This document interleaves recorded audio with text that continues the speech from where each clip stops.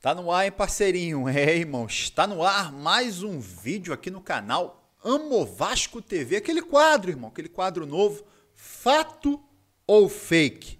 Mais uma notícia aí que o pessoal tá perguntando no meu WhatsApp. Bigode, é verdade ou não? Diz aí pra gente como é que é essa história sobre o Renato Kaiser, né? Jogador é, formado aí nas categorias de base do Vasco, né? Na época o Vasco se desfez do jogador.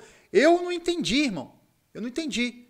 Porque ele é bom jogador. Ele é bom jogador, Renato Kaiser. Inclusive, antes de, de se transferir para o Fortaleza, ele estava fazendo uma boa temporada no Atlético Paranaense, bons jogos, né? Jogador de um porte físico bom, né, cara?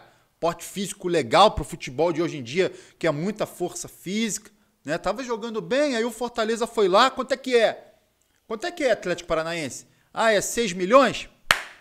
Fortaleza casou 6 milhões de reais no Renato Kaiser, maior, né, maior transferência, né, maior compra da história do futebol cearense.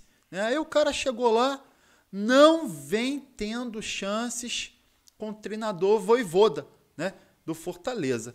E aí ele começou a ficar insatisfeito, moral baixa, né?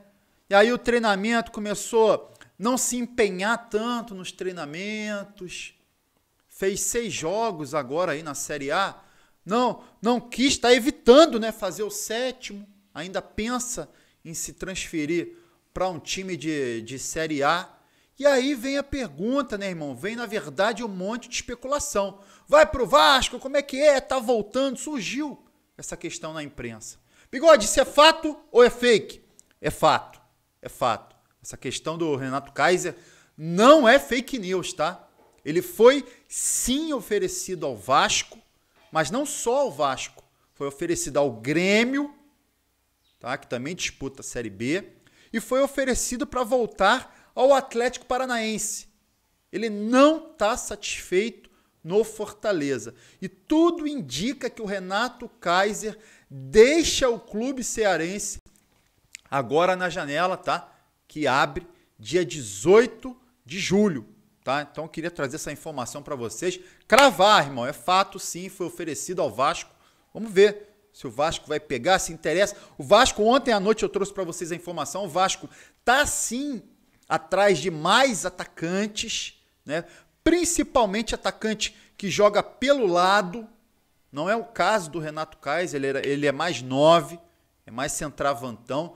Ó, opinião do bigode, ele é melhor que o Raniel e ele é melhor do que o Getúlio.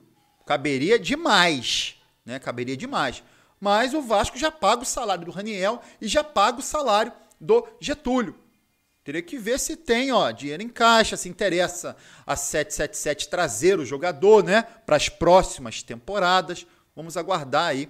Mas é verdade sim, tá? Renato Kaiser foi oferecido ao Vasco. Irmão, queria ler a sua opinião. Renato Kaiser cabe nesse ataque do Vasco?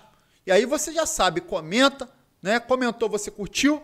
Curtiu, você se inscreve no canal, é, é para concorrer ao caminhão de prêmios aqui na Amo Vasco TV. Lembrando, hoje, depois do jogo do Vasco, Vasco Londrina, o jogo termina 6 horas da noite, 18 horas.